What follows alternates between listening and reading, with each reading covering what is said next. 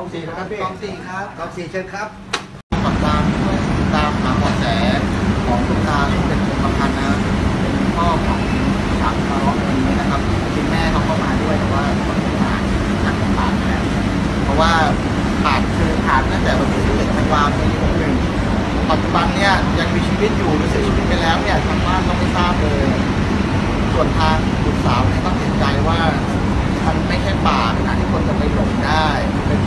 เขาสู่มาสามสิบกว่าปี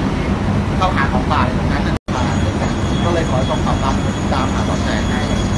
ไม่มีปัญหากับใคร